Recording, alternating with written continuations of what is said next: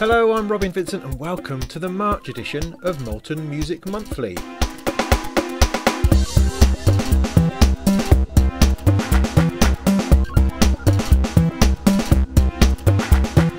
It's sort of springtime, flowers are coming out, and all sorts of wonderful things are happening in, of course, the world of music technology.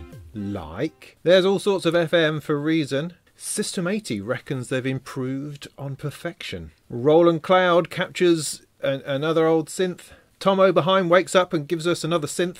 IK Multimedia give you everything.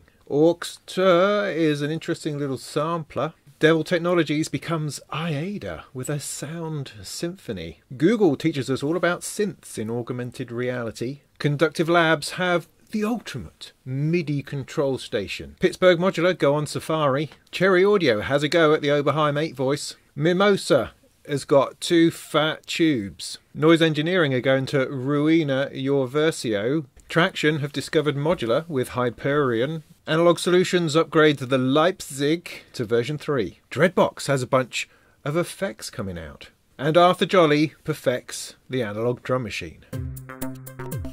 But first, Steinberg have decided to ditch the dongle.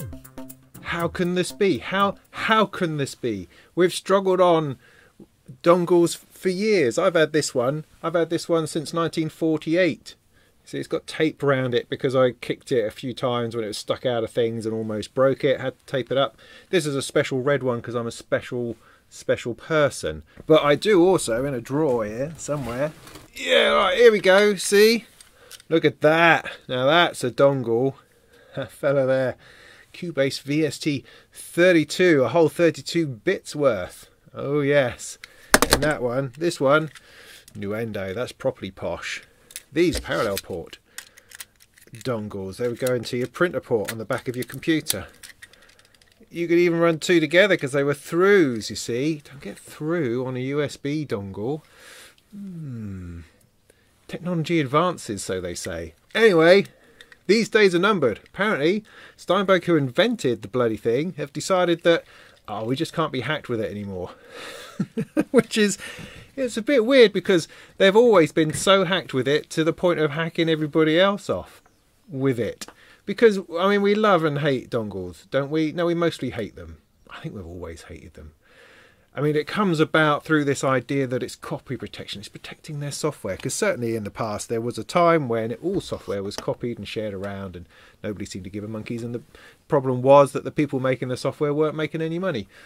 Or were they? I mean, I've always found that slightly odd because the other big DAW at the time was Cakewalk, and they've never had copy protection. Never. You know, and they did all right. Well, they did all right until they were no longer doing all right. now they've been bought out by BandLab. But besides the point, there have always been other DAWs that don't really fuss around with uh, with dongles or copy protection as such, and they've all they've all been okay. But Steinberg stuck to their guns. Definitely going to have this forever, for always. Doesn't matter if you break it, don't care. We'll charge you a load of money for a new one. You just have to deal with it. And so we do. We have it sticking out of our sticking out of our laptops and sticking out of other places and we trip over it and break it and that kind of thing. But apparently something has changed. I don't know, someone must have got fired or somebody moved on. Something about the heart of Steinberg no longer includes the dongle. Or it could just be that they're thinking up a new way to to torture us in using their software. I mean, the dongle is great in one respect because it means you can move from computer to computer and take your software with you. Essentially, the software is not on here, this is just a protection. But you can install Cubase on a hundred different computers and take your dongle around and use each one without having to fuss, without having to go on the internet, without having to authorize it. And so a dongle is very useful in that respect. And the downside is that you can lose it and all your software is gone. You can break it and all your software is gone. And also you can't run it on more than one machine at a time, which you can with most other with most other DAWs. So you might have a, you know a laptop and a desktop and have absolutely valid and completely awesome reasons for having two different systems running at the same time. And you could do that with Ableton Live or Bitwig or Reaper or all these other things, but you never could with a dongle. But anyway, this is just a long rambly thing to go dongles, yeah. So apparently, yeah, Steinberg have decided that maybe it's not the great thing that they thought it has been for the last thirty years and forty years, and the and they're gonna have a look at perhaps doing something else. And is that all right with everybody? Yeah, that's all right with everybody. Modular Makers System 80 have released what they believe is an upgrade to the Jove filter. Right? The Jove filter. Got one here. Jove filter. It's the best filter in the world. There's no filter which matches or can come anywhere near the creamy, gooey Jupiterness of that filter. It's just lovely. Get your hands off. Oi! System 80, stop it. Well, it's too late. Apparently, they've done it already. And you know what they're going to call it? Jove 2, perhaps? No, no, not Jove 2. They're going to call it the 860. The 860 Mark II. What? What is that about? Oh, I, well, I don't know. System 80, who produce these marvellous Roland inspired modules, have decided that there are a couple of tweaks they could do to the Jove. Maybe they ran out of transistors or a certain type of chip or something. But anyway, they've they've redesigned it a little bit, made it slightly smaller because it does take up a fair bit of room in your rack. But then it it looks so marvelous that it's allowed to. Whereas this one, the 860, it's a lot plainer. I mean, it's still very much in that Roland vibe. It's got the orange writing on it. You know, it looks great, high quality, that kind of thing it just doesn't quite have the impact, I don't think, that that front panel on the Jove has. I don't know. I don't know. I mean, undoubtedly, this is going to be an excellent filter.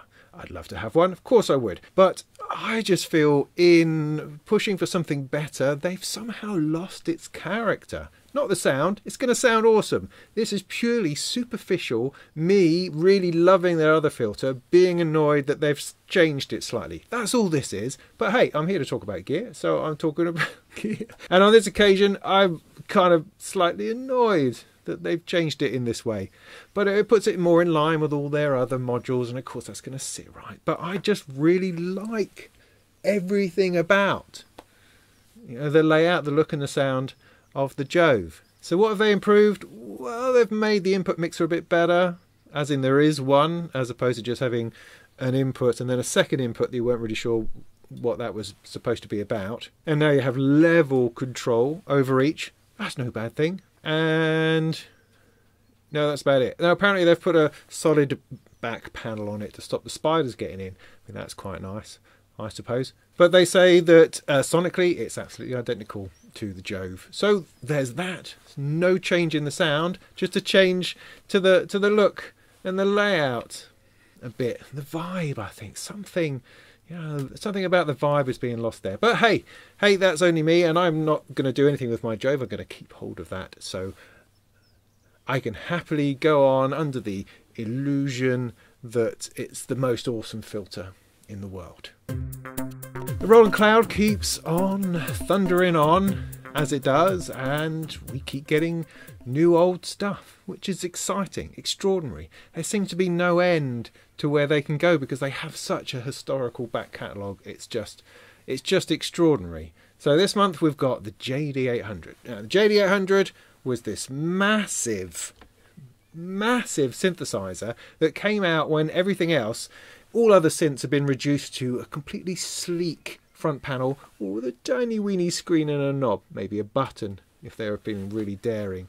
And this came out and it was covered in sliders and it had these strange angles going off like it was some kind of 80s sci-fi movie control panel in a spaceship kind of thing and it brought back the lost idea of having hands-on control over your synthesizer. Mad, really. I mean, it just seems bonkers. That period of time where we lost all control. what on earth? What on earth were we thinking? But anyway, so the JD800 stood out for its hands-onness, but also it sounded phenomenal and was used all over everything, I think, in the early 90s. I mean, you could, on one hand, call it like a Roland D50 with controls. I think that was kind of the idea. Anyway, Roland have reworked it and stuck it into their Zenology software synthesizer thingamajig. If you're not aware, Zenology is a free software synth you can download from Roland. Just create a bit of an account and off you go. And into that, they are gradually adding models of all of their uh, synthesizers. So you've already got in there Jupiter 8s and SH101s and Junos and and all sorts of things. I really must do a video on it at some point because I, I I'm quite into it. I'm quite into what they're attempting to do, and I've got a lot of respect. Even though people get upset with Roland for not re-releasing all their old synths, I understand that they want to just move forward while at the same time kind of honouring their past, but not having to redo it all over again. They want to offer you these are the sounds, these are the things, but we are moving forward and we want to integrate this with a with something else. And we can't do that by releasing a 303 or an 808 or or an SH2 or that kind of thing. That's too backward looking as far as they're concerned. And that's cool. They could do what they like. You know, it's up to them. They own the stuff. They're the ones doing the hard work. And so yeah, there you go. An iconic JD800 is now packed into Zenology. There's a lot of weird stuff going on around Oberheim at the moment. I mean, in some respects, I kind of assume I kind of assumed he'd at the very least retired, uh, Mr. Thomas Oberheim, or, or perhaps even was dead. But he isn't. He's still doing his thing, and he's suddenly popped up this month to say, hey, I'm going to release a special edition of the TVS Pro. What's the TVS Pro? I hear you say, well, it's a pair of SEMs. We all know the SEMs. SEM appears to be the one thing that Oberheim did that everyone remembers, everybody knows, we see it everywhere, everyone's trying to do one. It's just a, a square block synthesizer expander module. It's just a mono synth, a mono synth voice in a box. The TVS Pro is two of those put together with a little bit of jiggery pokery to make them work um, together rather than completely independently. They last released this back in 2016, which is not very long ago, but Mr. Oberheim has decided that it's really a good time to re-release it, to reissue it, this time with a an Oberheim badge on it. And that seems to be what this is all about. I mean, not that it's not all about getting an awesome vintage synthesizer, because that's awesome all by itself. But the timing of this seems to be centered around the name, the Oberheim name. And there's a lot going on with that. There's a lot of shifting and people doing stuff, by which I mean uh, Behringer has attempted to secure that as a trademark. While at the same time, Dave Smith of Sequential has also been picking up a few Oberheim related trademarks as well. And within all of this, Gibson, who own the brand itself, have given the name back to Tom as kind of a goodwill gesture for you know thanks for all the stuff and we're sorry we didn't make more synths kind of thing. And my kind of guess in understanding all of this is that Behringer is trying to grab hold of the trademark because it wants to make Oberheim clones, and you know, fair enough, that's that's cool. And so they've filed a trademark application on that, which I think now has been rejected in the USA. And part of that is to do with uh, Tom Oberheim going, no, no, I'm still, I'm still here, I'm still alive, I'm still doing a thing. Look, here's a product, bam, there's my name on it. So I think it was very important that he was releasing a product with the Oberheim name on it in order for the courts to go, yeah, look, Behringer, it's not really on you having this name because it is in use. People are using it. People do identify it with this thing over here rather than your thing over there. You know, that's the way of things. And so it's all turned into kind of a, a, a bit of a a bit of a soap opera. But I mean, fair enough. I mean, it's your name, man. You need to hang on to that, I guess. At the end of the day, the thing that gets me, I think, a little bit about the Behringer thing is that they seem so intent on grabbing hold of these names as if it's important. I don't really think it is. I think if they release synths, we don't. We're under no illusion that they are made by anyone other than themselves. And so to stick Oberheim on it rather than Behringer I don't think anyone is confused like that, or it will make any difference. No one's going to go, oh my god, it's an Oberheim synthesizer. I've not read anything about any kind of synthesizer for a good 40 years. It says Oberheim on it, it's brand new. It must be made by Tom. I'll buy it. Look, it's only a hundred quid. I don't think that's I don't think that's really going to happen. I don't think people are confused by those sorts of things. I think people are well aware of what's a clone and what isn't. And that's that's all fine. I'm not saying that any of those things are, are, bad or, or wrong. I just don't think that we're actually confused about the name. And I don't think there's anything to be gained by grabbing somebody else's brand name and slapping it on your product. I think we're all bright enough to understand what things are and not to be blinded by the idea of some kind of label. But by the by, the TVS Pro Special Edition is going to be ooh, probably three and a half grand or something for a fat mono slash duo synth that's got Tom Oberheim's name on it. Cool. IK Multimedia have released Total Studio Max 3. Or was it Total Studio 3 Max? I think it might be that way around. The idea is it's everything, everything, everything that they do, all stuck into one one bundle for one bundle price. You know, like Native Instruments do with Complete, or like IK Multimedia have done with Total Max Studio 2, Total Max Studio. It's got something like over 14,000 instruments. You get Sample Tank 4, you get the Hammond B3, you get Miroslav Philharmonic 2. I have to say that the Miroslav Philharmonic is an extraordinary orchestral set of instruments. It's just totally stunning. There's also Modo drums Modo bass. You've got T-RackS, you've got Amplitube, you've got all of the other bits and expansions and sounds and possibilities that go with it. Apparently, it totals something like 440 gigabytes of stuff. You're going to need to buy yourself a new hard drive. And you can get the whole lot for about 800 quid, or much less if you have a product already and you can just upgrade to it. So it's an extraordinary collection of things. And is another thing I'd like to sit down and do a bit of a video of just to pick out those highlights from it because I've been following IK Multimedia for well forever since they started, really, and so I've got quite a soft spot for them, and I think they've got a lot of good work in there. I think perhaps the Max Three is is too overwhelming to really uh, make proper use of. But you will definitely find in there some real nuggets of extraordinariness, whether it's the effects in T-RackS uh, or the you know the orchestral sumptuousness of the Miroslav, or some of those sampled keyboards in Syntronik. There's just some some stunning stunning stuff in there.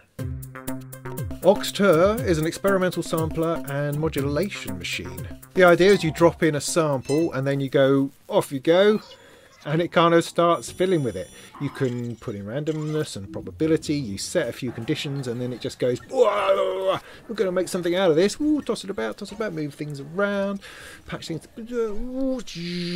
you know, that that kind of thing. It's the sort of thing that's all about algorithms and outcomes. You know, you stick something in one end, it gets processed along a whole line of probability. Will it do this? If it goes that, maybe do that. And it comes out going squeak, or some such. And once you've stopped fiddling around in the top section, in the bottom section, you've got more synthesizer controls like some, some FM, some remodulation, you've got delay, reverb, filtering, all that kind of thing, just to shape the heck out of it. They've just released an update which also includes the ability to sample directly into it as well as having sequencing inside so you can start really moving things about. But it's an interesting place to, to play, to spend some time, to experiment because it really gives you an opportunity to explore the potential of a sample in interesting and unexpected ways. Devil Technologies are known for their touchscreen controllers. Uh, things like the D-Touch, which is a DAW controller for Cubase and for uh, for other DAWs, which gives like an overlay to give you a touchscreen control surface to go over and control all the mixer functions and instrument functions within the DAW. That's the idea. They very recently changed their name to AIDA and have released a new more of a general MIDI controller. Rather than being a DAW controller, it can do whatever the heck you like. It's a bit more like a Chameleon or Emulator of old, where you can create this massively touchable arrangement of sliders and knobs and buttons and macros, and essentially design yourself the ideal MIDI interface for whatever synthesizer, DAW, lighting rig, whatever it is that you're trying to control. It also contains kind of uh, a modular environment where you can wire a whole different load of processes together. So you can have a control which is running all sorts of things, sending out all sorts of controller numbers, controlling patch changes, notes, sequences, all sorts of things can be behind that one control. It's also a place that you don't have to have a touchscreen. I mean, it is touch orientated, and that's what their their bag, their vibe is all about. But there's no reason why you couldn't create this wonderfully complex MIDI processing surface and then control it with a mouse. Because that's just as valid. You don't have to have fingers in there to control it. Because the underlying technology, what it's attempting to do, the way it can control sorts of things in different places, is phenomenally powerful, even if you're just moving one parameter at a time. I confess that it does look a little bit complicated. now, I've meant, again, I mean to do so many things. I have such great intentions, and sadly, I, I, I don't have the time to realise all those sorts of things. But I've wanted to play with DTouch for a long time.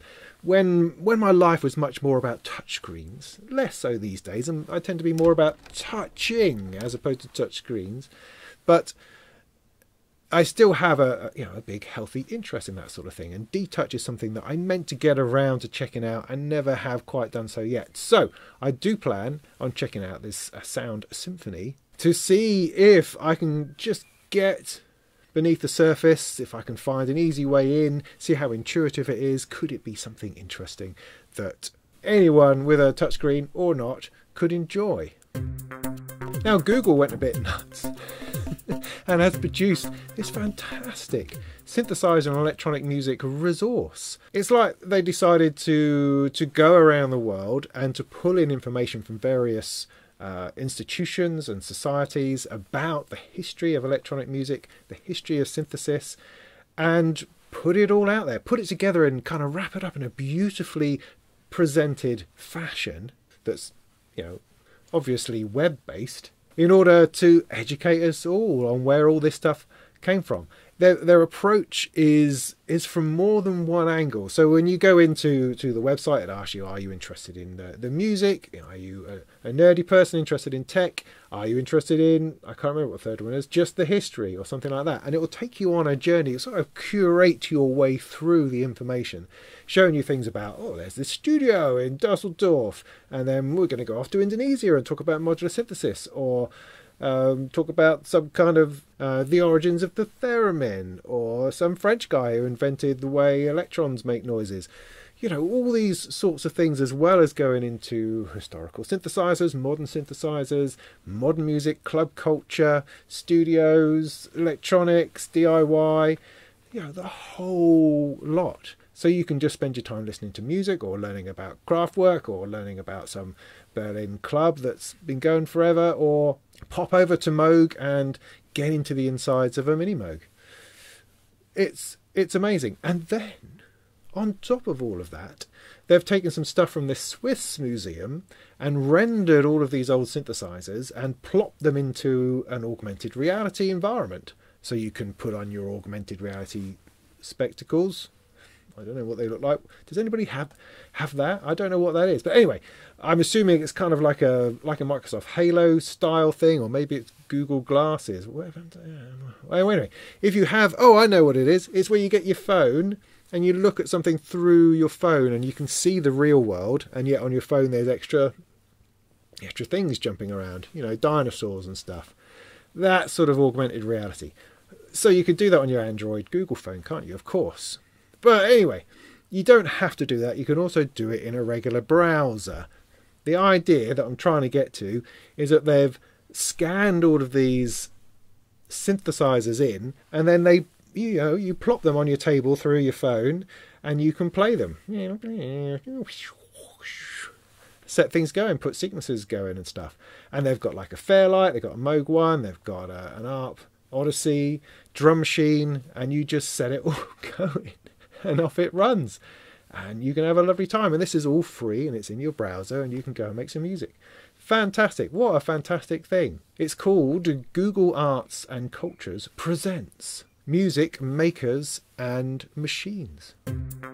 Right, with all these synthesizers and stuff knocking around our desktops, someone needs to sort out the MIDI side. Someone needs to sort out how we connect all these things together, get them to talk to each other, and do something useful without having to be constantly plugging and unplugging cables all the time? Well, in come Conductive Labs with a MRCC, MIDI Remote Control Center. Could be. Let's go with that. What it is is a is a slab, a slab of stuff packed full of five pin DIN holes. So you just plug everything into there. Bunch of buttons, bunch of lights. Go this one to that one, this one to that one, this one to that one, and off you go. Your studio is routed. Fan flipping tastic. just awesome. Not only is it doing the old 5 pin DIN, they've also got lots of mini jack type A, type B. Ah, those horrible type A, type B things going on as well, which mean that if you have a synth that has the annoying mini jack MIDI on it, you can route those directly in as well. And they've got some USB ports too. So whatever sort of MIDI your device takes, you can plug it all into here, route one to the other. Bob's your uncle, Fanny's your aunt, and off you go. Fantastic. It's got a little screen, does something or other, probably. Uh, they talk about they might build in some some MIDI tools like a MIDI monitor or a sequencer or something like that. But for the moment, the plan is you just route everything to everything else. You've got complete control over where everything is going MIDI wise. Of course, back in the day, we would have done this on our computers via big MIDI interfaces, like 18 8 out MIDI interfaces. You have stacks of those all plugged in, everything going into your computer, and it was there within your DAW that you did all your MIDI routing. And it's really interesting to see how we don't really want to do that anymore. We don't want to spend time sitting on front of a screen doing that sort of thing. We'd actually much rather have the physicality of cables going into a box that I can physically allocate to different things. It's the physicalness of it. It's that visceral, touchy, feely, sticky, inny, typey thing. I think that's I think that's what we need. I think it's what we need. It's good. Now, lovely old Pittsburgh Modular have come up with uh, another three modules, sort of kind of squelched out the side of their research into building more and interesting synthesizers and instruments. It appears that as they're working on uh, new, larger things, they come up with ideas that they think these are just too good. We're going to have to spin these out as a module by themselves. And so they do. And so this has resulted in a number of quite colourful um, modules. First one was a flower shop, I think it was, a little while ago. And now we have a giraffe, a crow, and a gibbon. a bit odd, have to be said. A bit odd, but they look great. They're a bit more colourful than what they usually do, so that's always nice. And they're seeing these as kind of a little collection, like going on safari, a bit of an experiment in a particular direction of something. And these aren't particularly spectacular. They're just sort of useful little things that they thought, mm, well, yeah, that's a that's a useful idea. Why don't we put that out there somewhere? Giraffe, for instance, is just a little 2 plus 2 mixer in 4 HP. Crow is an overdrive circuit of sorts, something to do with seeing a flock of crows and deciding that was all a bit overdriven. I don't, don't quite understand. And Gibbon is two channels of monkiness. No, sorry, two channels of randomness. I mean, they're all they're all pretty cool in their own way, quite you know individual, quirky. They're only going to make 200 of each apparently, then it's gone. So, yeah, interesting stuff, Pittsburgh, and I'm still fascinated to know what it is you're going to end up with in the end of all of this research and development into new things. Now, last month, GForce released their 8 Voice, which was an emulation of the classic Oberheim 8 voice synthesizer. The 8 voice, as I said last month, and I said a bit earlier as well, because Oberheim's all over the place at the moment, was 8 SEMs, so again, those little mono synths, 8 of them strapped together into a larger synth. Uh, with a few clevery bits going on. The idea being that it was kind of polyphony before we did polyphony properly. Polyphony properly being everything is controlled by a single control that controls all the voices. The thing that's uh, cool or difficult about the 8 voice is that you have to control each voice independently. So you have to tune all the oscillators independently, you have to move the filters independently, and that makes polyphony a lot of hard work or it makes polyphony really, really interesting. Because every time a new note comes up, it's going to be on a different SEM and it's going to be doing different things. So the potential in sound design, in modulation, in making interesting weirdness is just huge. I mean, I've been doing a lot of this myself recently with the the Poly 8 module. Did a video with the Poly 8, really long, hour and a half video of what on earth can I do with eight oscillators. And it's kind of a similar idea really with the 8 voice because you've got eight synthesizers essentially together that you're trying to work out how best to use. Now, when it comes to software, of course, you can solve all of those problems straight away. You just write it in that as you control one SEM, you're controlling them all at the touch of a button. And that is what GForce did, and that is essentially what Cherry Audio have now done with their 8 voice.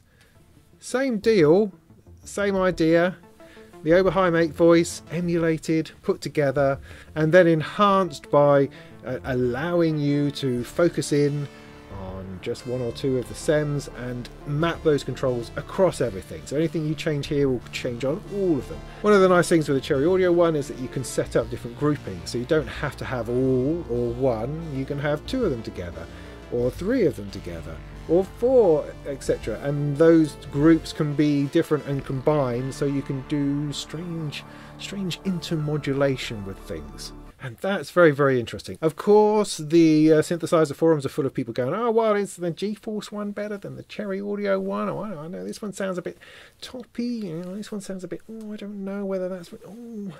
Well, I have no, I have no clue because I mean the biggest problem with the GForce one is it was Mac only, which was a shame. Whereas the Cherry Audio one will run on my computer. So as far as I'm concerned, this is the better one. Much as I would like to compare it alongside the GForce One, I am denied access due to my choice of operating system. So, uh, Cherry Audio is the one for me then. I mean, they both look and sound pretty phenomenal, it has to be said. Although I would say that the GForce One is a bit clearer, Cherry Audio do tend to go for a little bit of a of a hand drawn sort of cartoony look on their interfaces, which is a you know is a style, but the GForce One just looks that little bit crisper. But as far as how you use it, the sort of sound you get out, what it could offer in terms of just enjoying and playing synthesis, you really can't beat an 8 voice. The Mimosa 8. Now, this comes from Bizarre Jezebel, which is a great name.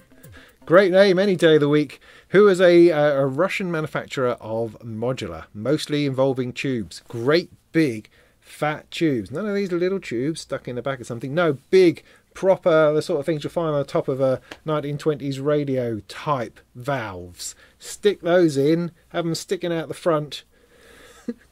and, you know, you don't even have to plug any audio in. You already know it's going to be sounding awesome. In fact, just its presence in your rack is going to make everything else just sound completely brilliant. Uh, one imagines. Anyway, this is a, a, an evolution of the original Mimosa, I think, that he made because in the original the valves, for some weird reason, were behind the front panel. They were out the back, which made it stupidly deep, as well as completely missing the fact that valves look flipping awesome. Anyway, so he sorted that out, stuck them on the front. Then you've just got three controls, I think, a couple of inputs. What does it do? It shapes and saturates. So you bend your waveforms in half and then just warm them up in a deep lava filled oven, oven of valveness, a tubey oven. Two of them. It looks totally awesome. You know, you've got to have five of them really. I don't know where the eight comes from, what, what the eight is relevant to. There's not eight channels or anything, or eight things going on. No, I've no idea. But I would have eight of them in a big row. All these valves sticking out, everything just being saturated and warmed and folded. That's what I want. Anyway, he's on Reverb. Go and check them out and bag yourself a pair of fat tubes. Talking of, of saturation and, and, wave shaping and stuff, Noise Engineering have got another Versio module. This one's called Ruina. Ruina, or Ruiner, perhaps. It's from the Latin to destroy stuff, so Ruiner is, is probably more accurate. And this one is basically answering the question how much distortion can I stuff into one module and still stay alive? And this perhaps is the answer in stereo, of course. Now, the Versio platform is is behind a number of uh, recent releases from Noise Engineering. You always end up with the same module but with a different front panel and a different firmware. The idea being that this is all actually run on a on a Daisy DSP that's in the background and you can load up different firmwares and transform your module into something else. There's been a delay one, there's been a reverb one, and this is a distortion. And if you have a previous Versio module, you can load up the firmware for free. That's the awesome thing about this, is that all these firmwares are completely transferable from module to module. The only thing that's different is the front panel. So your labeling might get a little bit out of sync if you start loading up other things, but you know, I'm sure you can manage. So Ruina, or Ruiner, I suppose, has wavefolding, multiband, distortion, somewhere in there there's 128 dBs of drive you can go it makes that sort of noise. Octavizing phase shifting and this knob in the middle called doom. We just add doom doom. Oh and there's schmoosing as well which is rather good. Just hit smoosh and it goes and then back again. Fascinating. Fascinating. A lot of stuff going on in there but if you ever wanted to crunch something, ever wanted to tie something in knots, take some audio and just make it cease to exist, and then bring it back to life as a zombie version of itself that's somehow twisted inside and is eating its own brains, then I think this is probably the module for you. Now, Reason has had a couple of uh, rack extensions out this month. The first one called Algoritm. Uh, algor- it's like algorithm, but without the H. I, I don't know what happened to the H. Maybe it got lost in translation. Who knows? Algoritm, the the the the, the algorithm, algorithm FM synthesizer. It's pretty good. I really sort of like the look of it. It somehow managed to bring a color other than green to, to FM synthesis, which is, is quite stunning by itself. What it gives you is nine cells. Those cells can be oscillators, carriers, modulators, and other bits. Yeah, shapers and filters and all that sort of thing. So in each of these cells, you drop a, a, synthesizer part. This is supposed to be an FM synthesizer, so you're talking about operators, and you are routing modulators into carriers. And you can do them in any way and, and any sort of routing, and and then add shaping, filters, envelopes, modulation, all that kind of stuff, all going on together. It's it really is a very sort of open uh, open place where you can route things to wherever you want them to go and modulate them in ways that, that you'd like to. And I like the way it breaks out of the whole algorithm thing by saying, no, do what you like. Put them here, put them there, do you know, whatever you like. Now, of course, it doesn't have to be FM. It can just make regular synthesizer sounds, but it's definitely angled towards doing that kind of thing. And you'll find a whole preset engine packed full of all those sorts of regular FM sounds that we enjoy. So really, Algoritm looks like a like a fun place to play with FM. don't get to say that very often. The other one is Sine Synth, and this is a little simpler perhaps, but also potentially more more complex and deep and interesting for people who really like to to scratch their heads around FM. You've got a bank of 16 sine waves and 16 ratio sliders, which essentially is controlling the pitch. So at a very basic level, it's more of a drone synth. You've got these sine waves you can play with. You can pitch them wherever you like, put the levels different, and get these wonderful tones starting to emerge.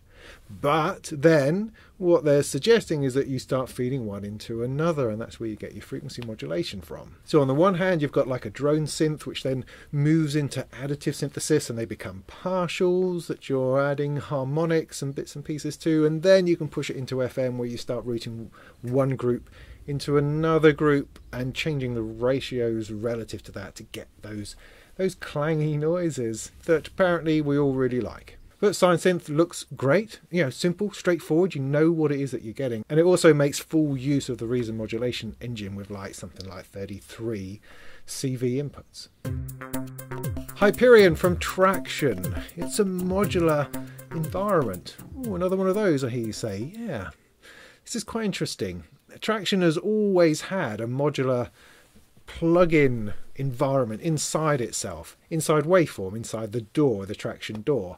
And within that environment, you could chain together uh, plugins initially, but then instruments, and then plugins and instruments, and absolutely everything else. You could create incredibly complex, overlapping, multi layered synthesizers and effects within this little page inside Tracktion where you're just doing little cables to each other. It was all completely possible, just not particularly intuitive or uh, easy to access. In fact, I don't think many people knew it was there. So what they appear to have done, although this might be complete coincidence, is pulled that out and gone. There you go. There's a modular environment. We're going to call it Hyperion. And it sort of does the same thing. You've got all these blocks, like Reaktor. It has a Reaktor vibe to it, I think. Lots of blocks of lots of little nodes on, knobbles on that you stretch cables from one thing to another, and it all looks it all looks like some kind of circuit board, some beautifully intricate, complex interplay of, of bits and pieces, which of course makes it probably quite difficult to get into. You know, years ago, Native Instruments decided that Reaktor was just too difficult. It's too hard, so they put a lot of energy into creating a GUI for it to put a front end on it, something like Reaktor blocks, so that you can actually work with it without having to have a degree in engineering or massive magnifying glasses. Hyperion sort of follows the pre that idea idea in let's just go back to the building blocks and we're going to put all those there and we're going to wire them together and we're going to forget about having any kind of interface for it. It's not entirely true because there's this interface going on around the outside that gives you access to all the parameters that you're patching together in the middle. Hmm. I mean, the sound demos are amazing. The one of the awesome things about it is that you can have multi layers. So you can have a layer of a synth and a layer of a synth, and drop controls from one to another, and route those to macros so you can turn a single knob and have all sorts of things modulating and affecting all sorts of other things on purpose as you play. So you've got polyphony in there, you've got uh, effects, you've got every sort of synthesis from sample players, phase modulation, FM, simple waveforms, wavetables, acoustic modeling. Everything has its node and can be noded in there and noddled to other things. Amazing, really. I mean, I haven't played with it yet. I've really just looked at the demos, but gee whiz, I think it's going to be going to be quite complicated. Now, Tracktion don't really like to take prisoners, particularly. They're not that interested in in making things stupidly simple. They're assuming that you know what you're doing a little bit, and their software is like that. It has like this an initial steep learning curve, and then uh, it can be extraordinary. I mean, I found Tracktion and waveform to be the same. It's like, oh, what on earth? What on earth am I doing? Oh, wow, this is amazing in here. And I feel that Hyperion is probably it's probably similar but I've no idea really. It could be easy peasy. Who knows? Let me know in the comments. Analogue Solutions have released an update to their Leipzig synthesizer. This is kind of a no nonsense, fat, growly, angry desktop synthesizer. Monosynth, that kind of thing. They've decided to rework it a bit. I mean, there's all that thing. It's been redesigned from the ground up. Well, then call it something else. It must have something to do with the previous version. But anyway, what we've got, a couple of oscillators, filter, envelope, all the usual kind of synthesizer stuff. But they've transformed it a bit in form factor to make it more desktop friendly rather than rack friendly, more of a desktop thing. They've improved the sequencer. You've got these eight-step analog sequencer at the bottom, which you can route to either the filter or the oscillators, or both. And then you've got an internal digital MIDI sequencer, which is 16 steps, and you can route that anywhere you like as well, inside or outside. They've revealed a bunch of patch points over on one side, so you can now happily connect it up to other bits of kind of Eurorack compatible gear. And of course, it still sounds flipping angry and flipping awesome. It's sort of a simpler version of the impulse command, I think. Similar idea with the sequencer, where it can do crazy things because it's not just affecting the, the pitch, you're also affecting filters, and it's like having a modulation lane built into that.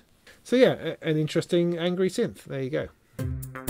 Now, about a year ago, I think Dreadbox released the Komorebi, which is this gorgeous looking stomp box kind of more designed for synthesizers than it is for guitars, although you can use guitars with it as well. It has jack inputs, but it also has Eurorack patch points. Very, very interesting. You know how we all love pedals now in synthesizer land because it's a cheap way of getting an effect for something. You just plonk it down, plug things in, it's very portable, you can move it anywhere, use it anywhere, route stuff through it. Sounds great, very hands on, growly growly. Off you go. Well, Dreadbox appear to be releasing a whole range of these in beautiful colours. They all appear also to be using the same form factor, so it's a bit like the chromatic range of modules that they did, where they're all the same module, just with a different coloured front panel and a different firmware inside. These look to be of a similar vein, so you've got all the same stomp box, just in these gorgeous choice of colours, and then of course different functionality. The Komorebi was a chorus, um, but these new ones, we've got a stereo delay looper, stereo reverb, an eight stage phaser, and a compressor filter. That's all we know. That's all they've said so far, and they're a bit blurred out, so don't even know properly what they look like, except that they look like the Komorebi. So that's fascinating. I think that's a great idea. I think more synth orientated pedals is, something we're perhaps going to see a lot more of. And it makes sense because they could potentially be cheaper, much more portable, use them with anything and in every place. They're not taking up room in your rack, which makes them a whole lot more versatile. Ricosynth are this awesome manufacturer synthesizers over in Brazil run by a guy called Arthur Joly. Great name. Great Instagram account, and he's constantly making these fantastic boutique synthesizers. Everything comes in a you know in a wooden surround. There's something about it that just has this 70s vibe. I mean, his whole thing is vintage. He's vintage boutique through and through, and that just oozes out of the stuff that he does. Anyway, he's just released what he believes to be the finest version of his Recodrum drum machine. Now, this is a drum machine like you've never seen. Not because it's weird or crazy, just because it's elegantly beautiful. And I confess that the first time I saw it, I assumed that the drum machine was here, this was the drum machine, and that this was some kind of bass synth that went through it. Well, actually, no, it is the drum machine. It's just that you don't ever see them in that kind of form factor. So you've got the pattern based sequencer bit at the bottom of your buttons, these orange buttons with these lights, it's beautiful. Orange round buttons, whoever does that.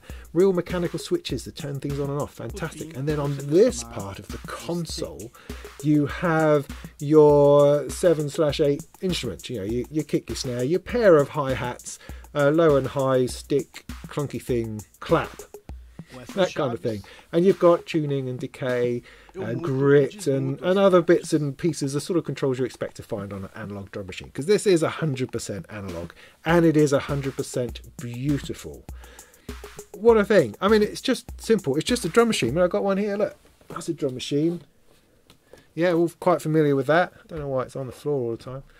But this is just realized in such a beautiful you know, honest, somehow real, tangible way.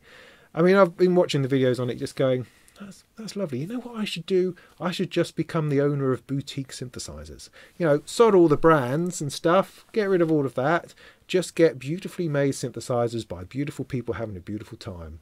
I just need a shed load of money, and then I could do that, and I can make wonderful videos about it for you good people. Anyway, it's the Recodrum, costs about a grand, and you can get it directly from Arthur in Brazil. And finally, Thomann are having a bit of an event. They're calling it Keys and Frequencies. Now, of course, we were all, well, me personally, was disappointed last year when they weren't able to do the synth reactor that they'd done the year before, that I had such a lovely, a lovely time on. They weren't able to do it last year for, I can't remember why. Anyway, and this year apparently they can't do it again either for, for reasons that escape me. So instead, they've got this one day online Uber event where they've invited a whole bunch of artists, creators, makers, and music type people to do a bunch of content that we can all sit back and let it wash over us in moments of synthesizer joy. This all takes place on the 27th of March, which is like, well, it might have already happened, depending on how quickly I can edit this video together. It's probably tomorrow or something. But anyway, it's Saturday, the 27th of March, all day long between 2 in the morning and 8 in the evening, I believe. Got all sorts of brands taking place like Korg and Nord and Moog, IK Multimedia, Modal, Roland, Soma Labs, Waldorf, Yamaha, just to name a few. Got a whole bunch of performing artists doing their thing, and of course you've got you've got a, a bunch of YouTubers. Sadly, not me, but some great ones anyway. You've got Heinbach, you've got Gaz Williams, Bo Beats, DivKid, Cuckoo, Red Means Recording, Synth Mania, and Look Mum No Computer, to name but a few. The idea is that you've got lots of stuff happening at once. You've got different stages. You've got like a main stage where you've got uh, Cuckoo demonstrating something about the Nord Wave 2. Later on, you've got Moog doing something or other with one of their things. And then there's a meeting place where you can chat and talk to Novation about the new circuits, or you can talk to Waldorf about something or other that they're doing. Then at the same time, there's a performance area uh, where Vlad from Soma Labs is going to be making crazy noises. Then there's a another area called Studio Berlin where where more noise and stuff and performances are going on. So it's a whole mishmash and crash of stuff happening all at once, and it's going to be run through some crazy online sort of software I imagine. I mean, these things can be a little bit weird to use in trying to work out how to navigate yourself between various places and to see the thing that you want to see at the time you want to see it, and whether those all sorts of things sort of work properly, who knows? But Thomann are going to have a really good stab at it and see what they can come up with. And no doubt you'll be able to watch the content after the event if needs be. It should be a fabulous time. I should say though, I am a little disappointed about the lack of women involved in the event. There's like Rebecca um, uh, as one of the performers, and no, I think I think that's about it. I think we can do better than that. I think that there's a, slight better opportunity for diversity there, and it's a shame perhaps that Thomann haven't really sort of sorted that out. But otherwise, looks like a fun event. Well, there you go. That'll do. I think I think that's plenty. Is that enough? Done enough? I think I've done enough. It felt like a really slow month, but I managed to pack them in as, as I normally do. So, coming up then, well, probably tonight, or at least Thursday, the 25th, I've got a couple of things happening. First of all, I've got a live stream uh, with this young man who's studying some kind of music creative technology type thing at university. He got in touch with me to say, could I could I fill in like a, a survey for my research into modular? And I said, yeah, well, I suppose so. Yeah, I mean, of course I can. Of course I can. Yes, I yeah, I always help people in the community. That's awesome. So as I was thinking about this, I thought, well, why don't we? When we could do it over Zoom, and then it might be easier, but then I'm a bit shy of, of talking to strangers in that way, believe it or not. And that's so I thought about it some more, and I thought, well, why don't we actually do it as a live stream? Because if you're asking me damn fool stupid questions about modular, then everybody should hear the damn fool stupid answers that I give. I mean, that's got to be a, a, a goer, hasn't it? So, this Thursday, the 25th, hopefully I can get this video edited in time so it hasn't already gone past. I'm getting together for a live stream, 8 o'clock GMT, and uh, this geezer's going to ask me a bunch of questions about modular, how to get started in modular, beginning of modular, and I'm inviting everybody else to come along to watch it and also contribute their own questions. Anything you want to ask about modular, I will do my best to answer in as much detail as I can, and I think that will give this guy uh, a much broader idea of research, a much wider selection of, of questions and possibilities, and of course, a whole bunch of nutty answers from the people in the chat, which is great. I love all of that. So that is happening. 25th, 8 o'clock, live stream on YouTube, usual place. We'll do it. And because of that, I'm not going to be having a live stream this Sunday. So that's going to be our only one uh, for this month. All right. And then later on in the evening, well, really in the morning, over in New York, I'm performing at the New York Modular Society Patchable Performers event night gig thing. and that starts at one o'clock in the morning, my time, or nine o'clock if you're over in uh, the city that never sleeps. Or was that Chicago? I can't remember. Anywho, it's a performance I've already done. It's I've pre-recorded it. I did it on this rig here just the other day and uploaded it to them, and it will be the premiere of that performance. The performance was all about uh, polymeters and polyrhythms, two things which I don't usually spend a whole lot of time on. So it has been a fascinating adventure trying to work the heck of that out, and then come up with something which sounded not completely rubbish. And I, I hope and I a little bit of me believes I did that. So if you're around over that side of the pond, then it's on at nine o'clock on Twitch over at the uh, uh, well, you'll find a link on the New York Modular Society website. To do go and check that out, and then uh, later on at some point it will turn up on my YouTube channel, I imagine. Including I've also done a patch breakdown video. Very exciting. So you can enjoy that as well over the weekend, I imagine. Lots of review videos coming up, including whole bunch of Volca stuff. I'm going to get really stuck into this next week and at the very least produce something fascinating with the Volca Nubass. That's the plan. Otherwise, acres of DIY, Deckard's Dream, Deckard's Voice, modular stuff, keyboards, audio interfaces, whole lot going on the whole time. And if you're sitting there thinking to yourself, wow, this is amazing, I wonder how I could help the guy. You can help me by buying a mug. Oh yes, new mugs, Molten Modular. Look, says Molten Modular on both sides, available in all sorts of fascinating colours that will definitely brighten your day. Put pens in it. put coffee in it. Whatever you like. New range of mugs now available on the website. Yeah, it's exciting, isn't it? Like merchandising and stuff. Well, it is. It's kind of exciting. Wanted to do it for ages and finally got around to it. Now, this is phase one of my merchandising plan. I have all sorts of things coming along the lines. I am I'm currently working with a with a fantastic illustrator to come up with a couple of T-shirts uh, slash posters. So uh, they're well underway now. So we'll be getting along to those soon. I'll tell you more about them when I have something to show. But ultimately, it's it's just a bit of fun. Mug. oh, I don't know. Anyway, otherwise, you know, join us on Patreon. That's always a good idea. Throw me a couple of quid. That'd be awesome. Do all the subscribing thing. Come along to things. Talk to me. I'm happy to answer questions most of the time about most things. So there we go. I'll just stop talking, and in the meantime, you go and make some tunes.